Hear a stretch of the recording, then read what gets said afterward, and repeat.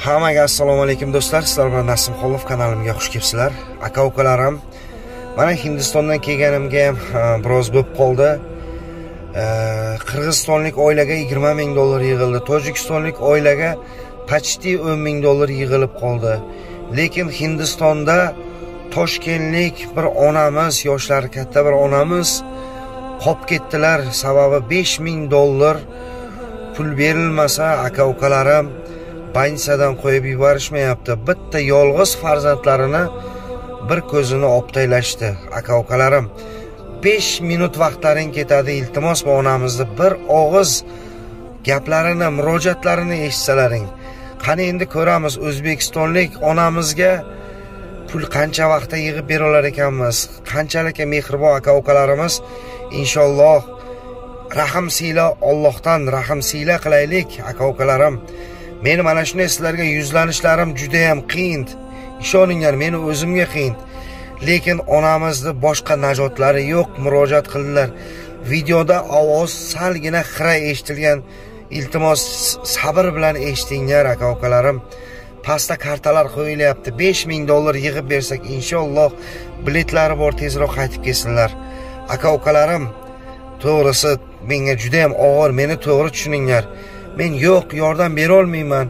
Yo'q bunaqa video chiqarolmayman deyolmayman. Meni o'rnimga o'zlaringni qo'yib ko'ringlar. Aka ukalarim toshkentlik onamiz hindiston dehlida hozir qolib ketdi. Aka ukalarim davay videoni ko'proq layk bosib tarqatinglar hech bo'lmasa. Duo qilib qo'yinglar rahmat borlaringga shukur assalomu alaykum aziz vatandoshlarim. Bizni toshkent shahridan bizni o'g'lim bilan hindistonni dehli shahriga keldik o'zi o'zbekistonda bizani analizlarimizni onkologiya deb tasdiqlandi. Keyin ishonmasdan shu yerda boshqatdan tekshiriluv deb hindistonga keldim hozir mana hindistonda klinikaga kelib hamma analizlarni tekshirtirdi. U yerda boshqatdan tekshirishdi slimkalar qilishdi. Hozir endi shu analizlar tasdiqlandi. Ishini qismi hamda ko'z qismida rak kasalligi tasdiqlandi. Hozir biz o'n besh kundan burun hindistonni dehli shahrida yuribmiz bizani operatsiyamiz juda murakkab. To'rtta doktor ishtirok etadi deyishyapti. O'shanga bizni mablag'imiz yetmay qolgani sababli shu yerda qolib ketdi.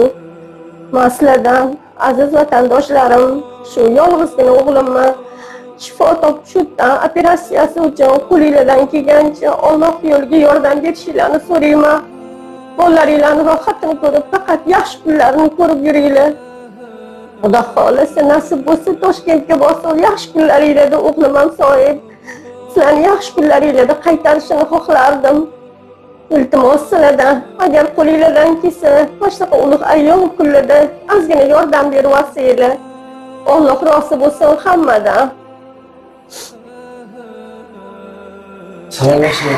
Assalomu alaykum. Hammaga yurtdoshlarimizni o'zbekistonlik aka ukalarim opa singillarim qo'shni yurtli qirg'iziston qozog'iston turkmaniston tojikiston barinki hammaga e, o'tgan hayitlar bilan tabriklayman manga shunaqa dard ketdi olloh sinov beribdi.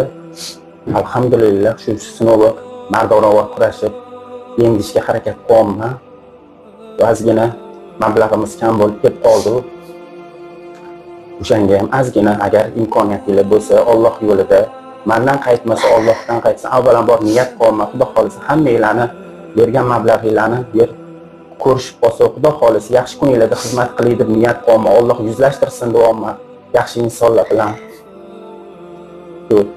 Shifo topib xudo xohlasa onamni rohatlarini onamni duolarini olay otamni duolarini olay. Saxiy beruvchi qo'l bo'lay deb niyat qilyapman xudo xohlasa olloh ko'rguvchi o'zi bilguvchi namozda o'qiyapman istig'forlar o'qiyapman. Olloh o'zi mehribon. Sizlar sababchisizlar olloh hammasini ko'rib turibdi. Agar qo'linglardan kelsa ozgina yordam berib yuborsanglar ozgina mablag'imiz qoldi o'shanga. Shu operatsiyani o'tkazib olib onamni ko'rib siqilib ketyapman. E, boshqa yo'l bilan boshqa klinikaga kelgandik bitta tanishimizni tavsiyasi bilan kelib qoldik bu yerga bizni qo'limizdagi mablag' yetadi deb birinchi marta bo'lgani uchun keluvdik. Boshqa klinikalarda yurdi hech ham qarasa juda yuqori narxlarni aytishdi bizani qo'limizda unaqa mablag' yo'q edi. Keyin mana shu yerga kelgan boshqa yurtdoshlarimizdan eshitdi. Nasimjonni baxtiyorjonni yordam berishyapti kelganligi deyishganiga xudoni marhamati bilan nasimjonni bitta gostinisada joylashib qoldi. Ular bilan gaplashib hammasini tushuntirdik. Bizga yordam beraman deb mana boshqa klinikaga olib borib mana qo'ligidan kelgancha bizga yordam berishyapti. Baraka topishsin. Kimni boshida mushkulot tushsa shu yerda mana mana shu gostinitsada turgan hamma bemorlardan eshitdi hammaga yordam berib ish qilib sababchi qilib olloh qo'llasin ularni ham. Bizga ham nasimjon kirdilar baxtiyorjon hamma vrachlarga olib kirib qo'lligidan kelgancha arzonlashtirib juda katta narx bo'lgani uchun bizga yordam berishyapti. Man ulardan ollohdan faqatgina bolalarini rohatini ko'rsin ota onalari bergan tarbiyalarga ming rahmat deyman shunchalik kelgan hamma musofirlarga qo'llab quvvatlashayotganiga katta rahmat deyman alloh rozi bo'lsin. Ism familiyaringizni ham ayting. Man toshkentdanman azizova shohidaman uchta farzandim bor bu bittagina o'g'lim yana ikkita qizim bor shu birdaniga shunaqa tashxis qo'yishdi biz hech bunaqa to'rttanaqa bo'ladi deb o'ylamagan edik keyin juda murakkab operatsiya deyishyapti. Agar bitta ikkita vrach emas bu yerda to'rtta vrach ishtirok etadi. Mana anaqalari bilan juda qimmat bo'lib ketdi. O'zi boshqa anaqaga ham kirib o'tdi analizda topshirdi. U yoq ham juda ham qimmatli qildi bizga.